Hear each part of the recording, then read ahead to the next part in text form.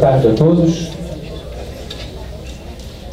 Sejam todos bem-vindos de volta. Obrigado por terem retornado, obrigado pela presença aqui no evento. É, já convido aqui à mesa o nosso conferencista agora da tarde, professor Floriano Azevedo Marques Neto.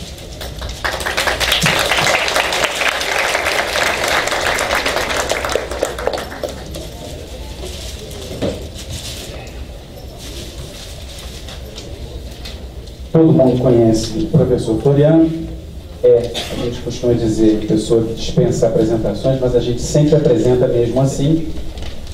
O professor Floriano é doutor, livre docente em Direito Público pela Universidade de São Paulo, professor da Universidade de São Paulo e advogado.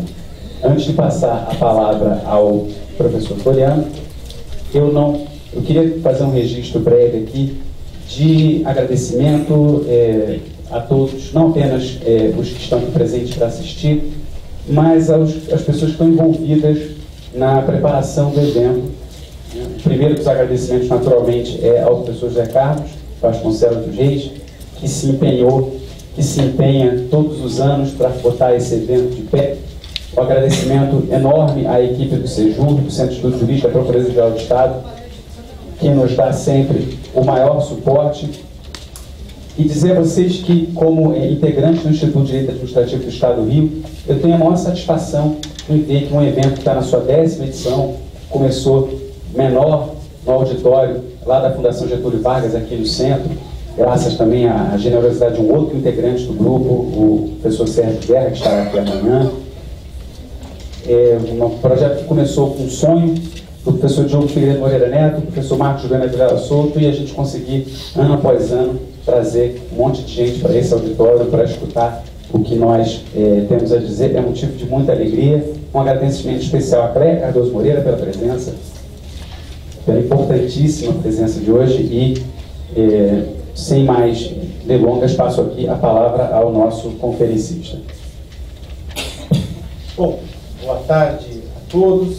É, mais uma vez eu venho aqui é, participando do, do, Congresso, acho que umas quatro, três ou quatro é, edições eu, tive aqui, e hoje, é, já pela manhã foi, foi dito, um motivo a mais para vir participar aqui, que é a homenagem ao legado do, do professor Diogo.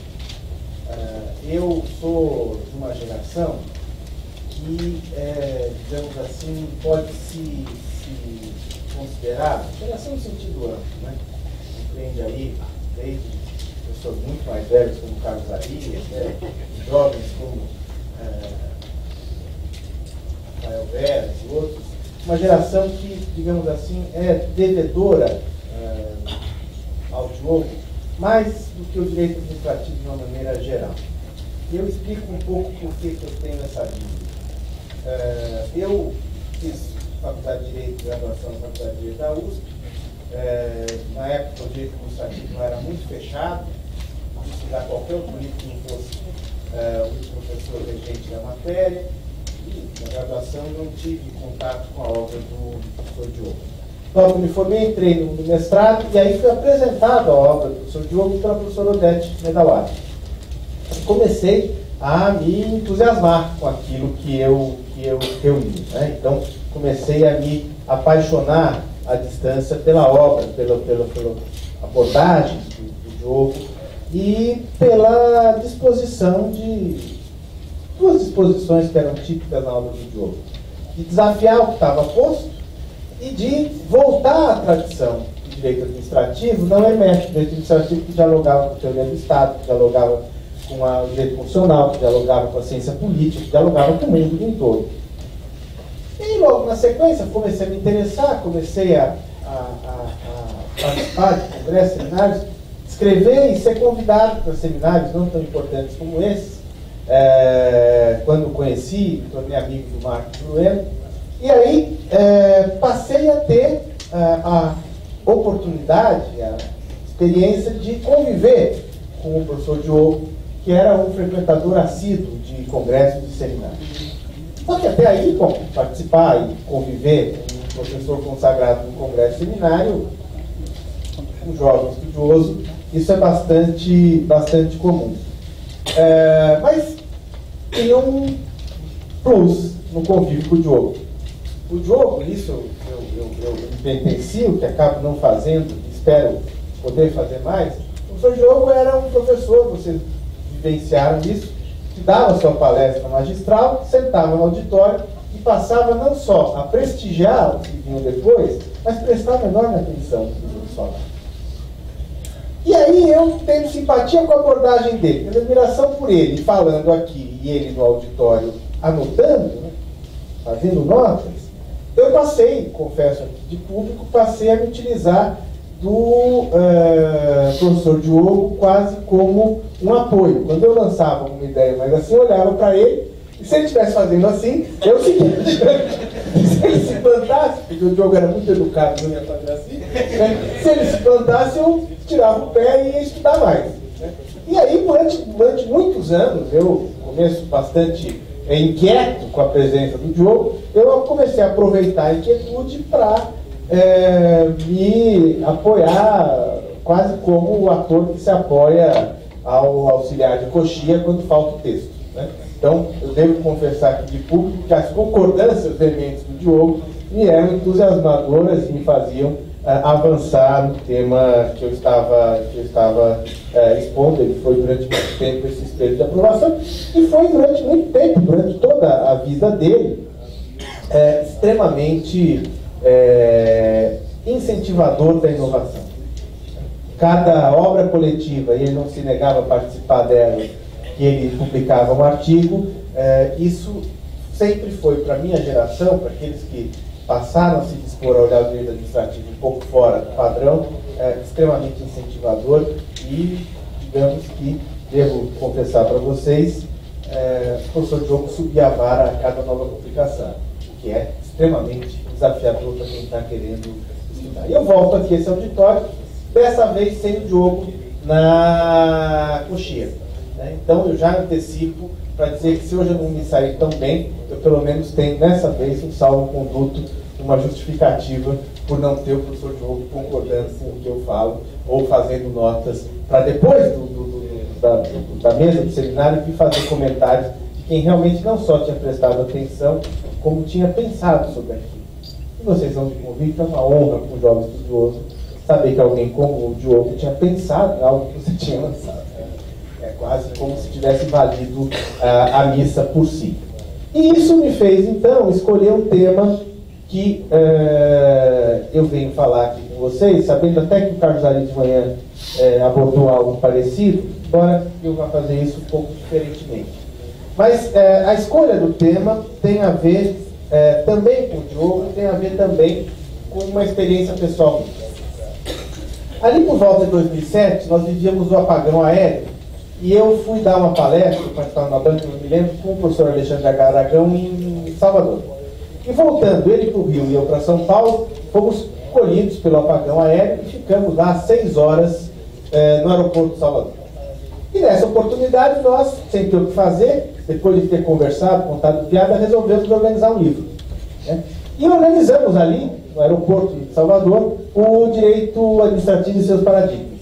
Quem que a gente ia convidar, como é que ia ser estruturado. O livro saiu dessa oportunidade lá seis horas no, no aeroporto. Voltamos cada um para a sua terra, eu para São Paulo, não para o Rio, e fomos então a convidar as pessoas que a gente tinha selecionado. É muitos que estão aqui, inclusive.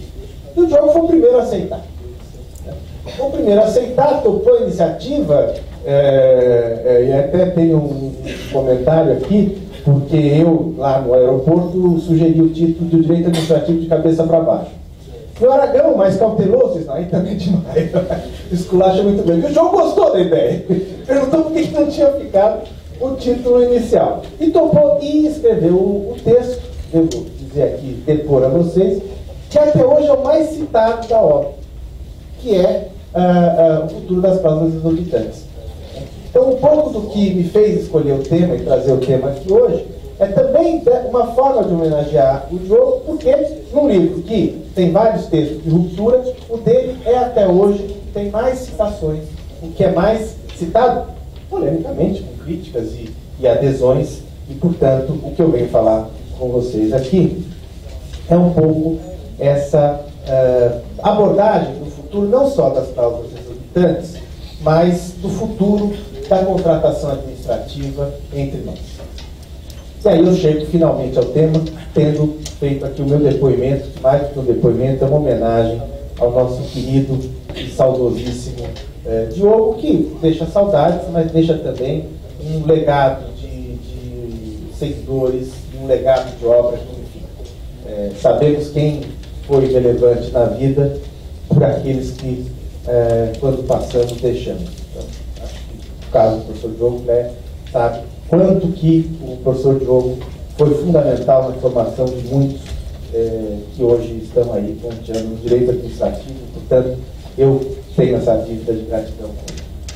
Mas, entrando então no tema, uh, eu começo a compartilhar com vocês algumas ideias que uh, têm me acometido nos últimos, nos últimos tempos. E a pergunta que me faz iniciar aqui é a seguinte: por que razão as leis de licitação e contratação administrativa não coibiram a corrupção? De certa forma, o consenso, quem estuda a licitação, que as leis de licitação e contratação administrativa são leis extremamente rígidas que impõem ao gestor público uma série de condicionantes que, de certa forma, eh, comprometem a sua eficiência. Mas também todos nós entendemos que elas são um mal necessário. Porque elas tendem a coibir a liberdade, a eficiência, buscando moralizar as compras governamentais. É essa equação que nos é vendida, que nós compramos e, de uma maneira geral, repetimos, olha e vez, méritos das leis uh, de licitação. Não obstante, pagando-se um preço pela uh, menor eficiência, definitivamente as leis de licitação não coibiram a corrupção. E aí eu me pus a indagar por que, que elas não coibiram a corrupção. E aí eu cheguei a uma conclusão mais séria do que a que elas não coibiram, ou não serviram para coibir a corrupção. É que, na verdade, elas são parte do problema. A estrutura de licitação, não vou falar aqui, e de contratação administrativa, refletindo, faz né, que elas são a única causa, mas fazem parte do pacote que leva a essa prática tão corrupta como nós temos, vou dizer até descoberto, talvez não soubesse, mas temos comprovado com elementos fáticos.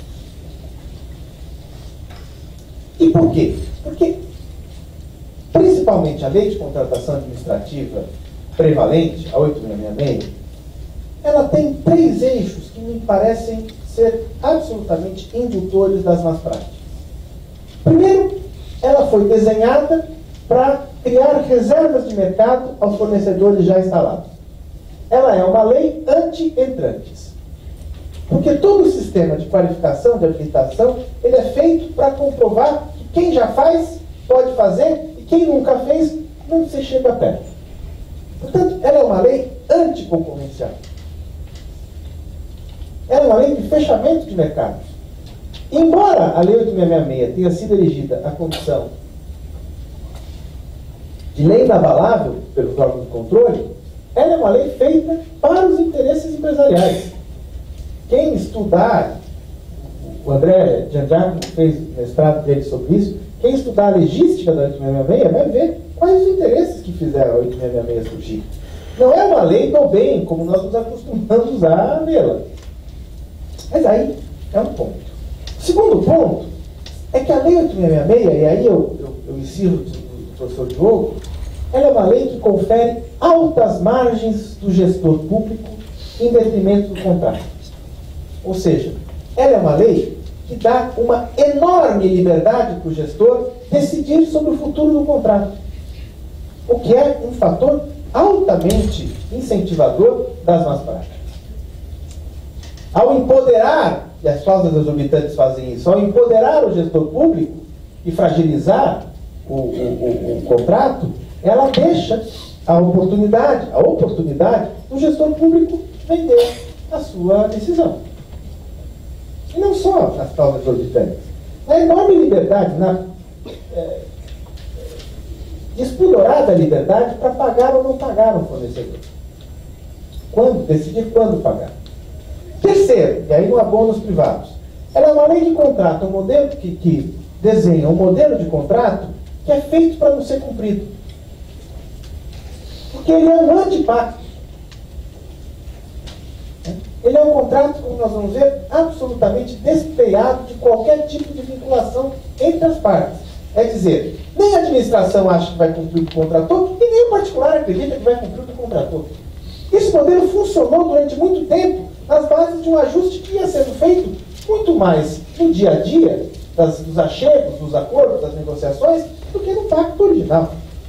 Portanto, ela foi, é uma lei que pegou o modelo não contrato, adotando como contrato o modelo do pacto da de Servando. E esses três vetores levam a uma realidade que o modelo de contratação que a gente tem, é, primeiro ele é feito sobre o nada. Né? Porque o orçamento é mera estimativa, o projeto é precário, o cronograma todo mundo sabe que não vai ser cumprido. E a, a, a, o compromisso de pagamento, ou seja, a disponibilidade de recursos para pagar, falando de contrato predominante ou comutativo a administração pagadora, é baseado numa aleatória uh, destinação de recursos de empenho, e eu descobri outro dia que há uh, instâncias da federação que fazem empenho após a despesa. Portanto, ele é um contrato feito sobre nada. Segundo, é um modelo que incentiva uma gestão contratual caprichosa, mas não caprichada. Ou seja, a vontade do gestor, a vontade do administrador público vale muito mais do que a eficiente administração do contrato. E terceiro, ele foi baseado numa ideia, e os particulares trabalharam durante muito tempo com essa ideia, que não importa o que for contratado, nem precisa prestar muita atenção no contrato. Ao final, tudo se arranja.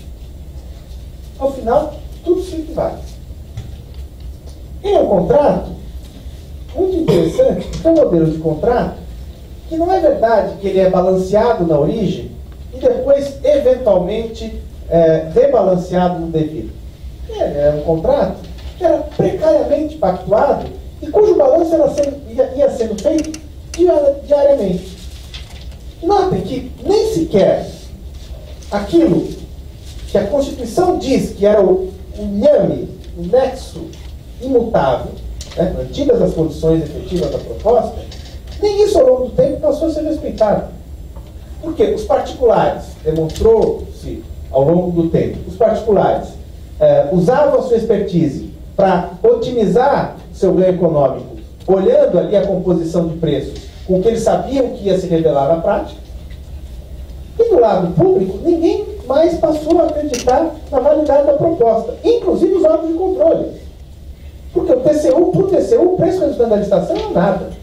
Vai valer o preço que for auditado depois e verificado por devido à obra.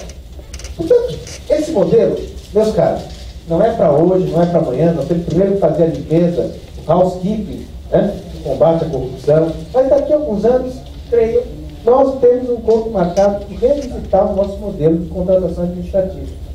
Não gastem tempo agora, se falarem, se vocês fizerem qualquer sugestão, vocês vão ser acusados de querer barrar a Lava Jato. O serviço ser feito. Deixe o serviço ser feito. Mas nós, administrativistas, temos um encontro marcado, uma revisão, que não é reforma da lei, é uma revisão profunda do modelo de contratação que nós temos eh, aqui entre nós. E Pensando nessa revisitação, revisão, refundação do modelo, eu acho que existem alguns vetores que nós podemos começar a pensar. Primeiro, o vetor da precisão do que contratar. Os estudos empíricos demonstram, e não é preciso fazer grandes pesquisas para isso, que existe uma absoluta indeterminação mais do que isso, uma absoluta irresponsabilidade naquilo que a administração pública contrata. As contratações não são estudadas anteriormente para saber qual é o melhor objeto a ser contratado para atingir aquela finalidade. E esse vetor de maior precisão de contratar se desdobra em dois instrumentos. Primeiro, temos que falar seriamente sobre projeto e especificações de objetos. Não é mais possível licitar sobre um esboço, licitar sobre algo que ninguém acredita que vai ser assim executado. Portanto, temos que caminhar radicalmente na definição de que não se licita, pelo menos empreendimentos de grande porte, sem ter uma especificação minudente, detalhada, ainda que não infalível, do que se quer obter. Segundo, ampliar a utilização de estudos de viabilidade técnica e econômica para aquilo que se quer contratar. Não é possível que a administração contrate porque alguém entregou um folder dizendo que aquele produto é bom. Ou porque alguém disse que tal intervenção resolve o problema da mobilidade urbana. Segundo ponto, nós temos que avançar para o campo das contratações é, comuns da administração pública, pelo menos aquelas de grande vulto, a ideia de EVTS. Por quê? Porque nenhum empreendimento privado, construção de uma indústria, é, uma intervenção de terraplenagem numa fazenda do agronegócio, é feito sem estudo de viabilidade. Nenhuma empresa privada gasta um valor significativo do seu orçamento sem que seja aprovado baseado no estudo de viabilidade. Então, primeiro vetor, a busca da maior precisão do que contratar. Decorrente disso, nós chegamos ao segundo vetor, né, que nós temos que voltar a pensar e radicalizar o Pacta Sunt Servanda. Eu já escrevi dezenas de artigos falando sobre a mutabilidade do contrato administrativo, outros tantos aqui, nós nos acostumamos com isso. Mas nós temos que repensar se a mutabilidade do contrato administrativo deve prosseguir sendo a regra.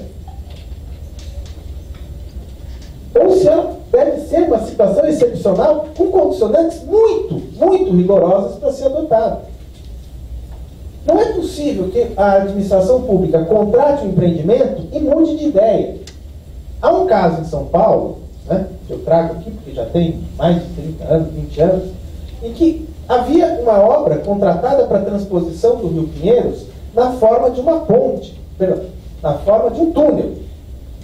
E foi operado por uma ponte. Porque se disse lá que era mais fácil o escoamento trânsito, etc.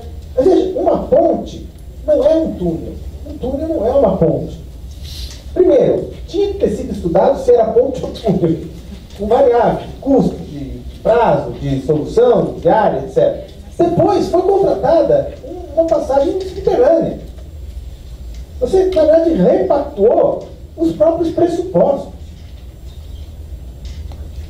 Dentro desse vetor de radicalizar o pacto de Servanda, serei mais radical que o professor Diogo. É, os discípulos tendem a ser mais chiitas que os médicos. Nós temos que discutir seriamente a extinção das cláusulas cláusula exorbitante, para mim, trouxe mais malefício do que benefício. Esse é um modelo francês do século XIX que, para nós, se tornou uma armadilha. Ah, então você está querendo dizer que não pode punir o privado? Claro, qualquer contrato tem cláusula penal. Clausulemos uma boa cláusula penal, inclusive com disposições para ambas as partes, como existem nos contratos PPP. Por que, que isso é contraproducente? Não porque isso dê mais ou menos poder para a administração pública. Porque se eu tenho a possibilidade de aplicar uma sanção ou de fazer qualquer coisa ex lege, eu não tenho incentivo para discutir no contrato o texto mais apto para aquele contrato. Quando eu comecei a lidar com contratos administrativos, depois isso mudou um pouco, mas não muito, eu me espantava, os contratos do DR em São Paulo eram uma página de papel frente e verso para fazer obra de estrada. Por que o pessoal era preguiçoso? Não, porque para eles tinha um regulamento, tinha uma lei, eles aplicavam contrato. Contrato é uma folha lá, preenchia a mão, valor, né? obra, estaca tal, estaca tal, e segue a vida. Estamos falando de contratos de milhões. O mínimo que a administração tem que ter é a preocupação de fazer as cláusulas, não a cláusula geral, se der erro eu puno até 10%. mas graduando, tipificando, como ocorre qualquer grande contrato de qualquer país do mundo. Hipótese de rescisão do contrato? Claro, ninguém vai dizer que tem que se manter um contrato de recuperação de uma ponte se na última tempestade a ponte ruiu. É uma rescisão por interesse público, mas é simples, é basta você clausular em função daquele contrato.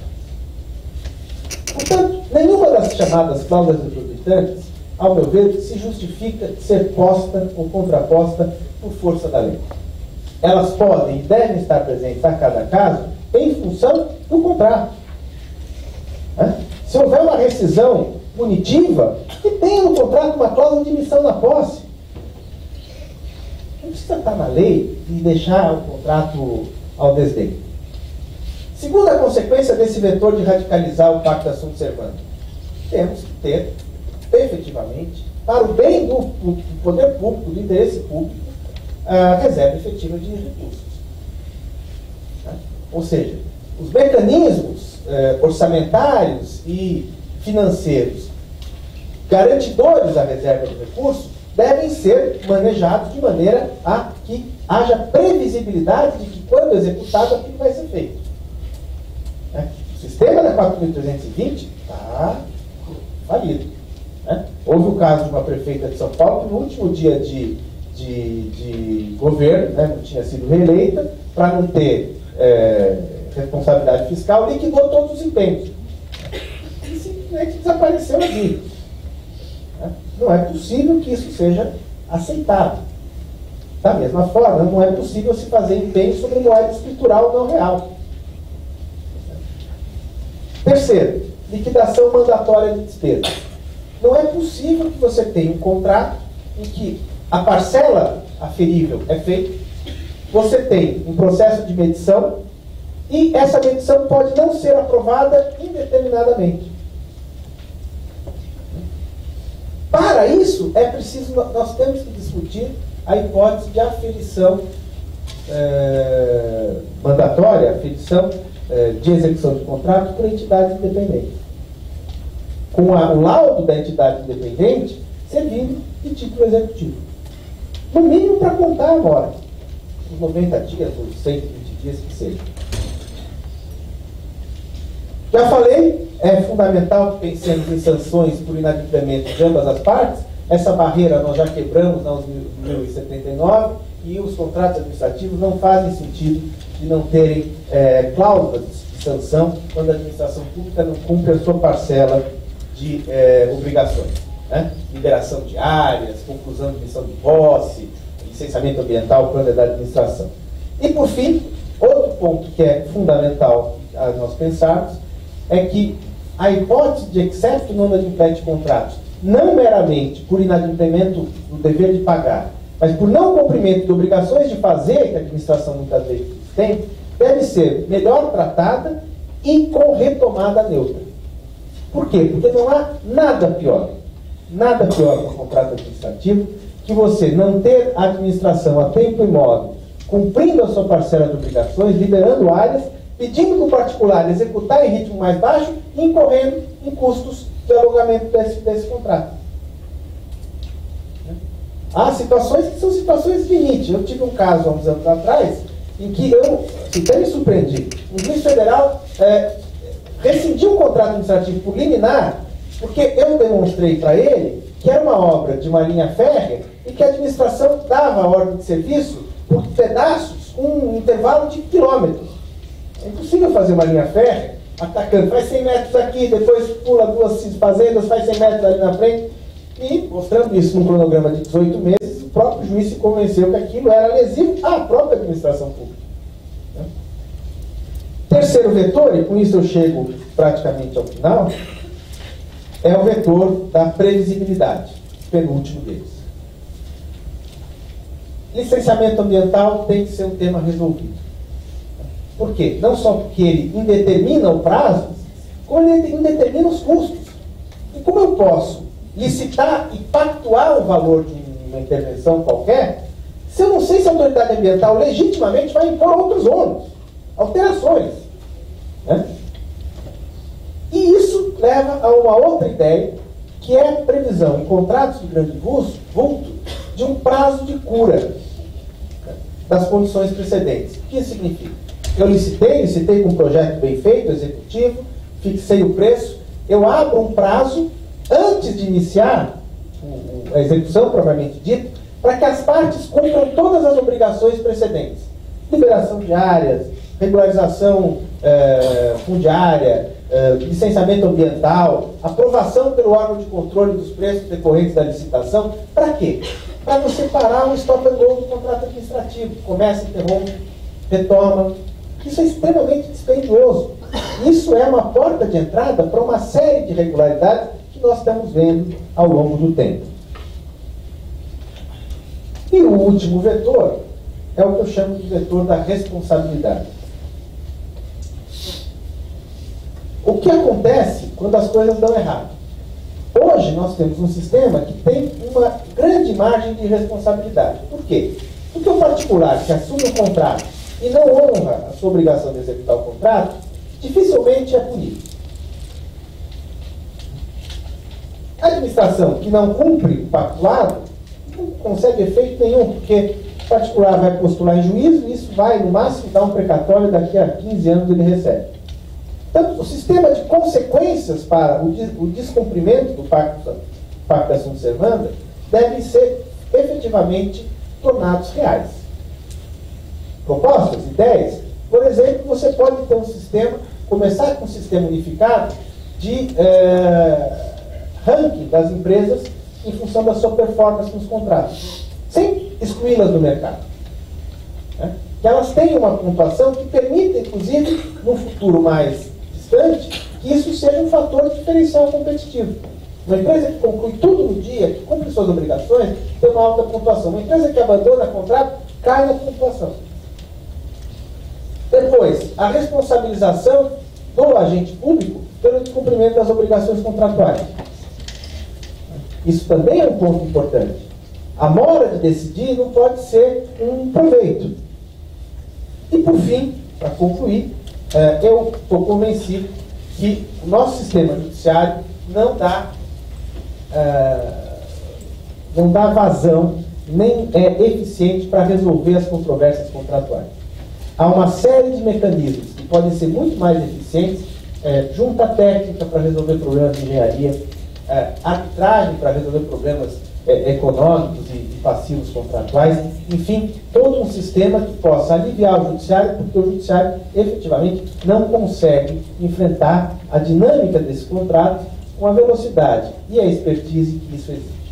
Bom, essas ideias, é, longe de serem um objetivo aqui de predicar soluções, elas são ideias que precisam ser urgentemente é, discutidas pela comunidade jurídica. Porque senão nós vamos ficar permanentemente armadilhados numa sistemática em que a administração não consegue contratar, quando contrata, não contrata é, bem, contrata sobre nada, os contratos não terminam, e hoje é a grande tônica da contratação administrativa, e a cada ciclo de 10, 15 anos nós vamos fazer cara de surpreendidos com as denúncias de corrupção. Este, definitivamente, não é um modelo vencedor, é um modelo que deu errado, como tudo que deu errado precisa ser aposentado e revisto, é, e rediscutido e requalificado. Muito obrigado.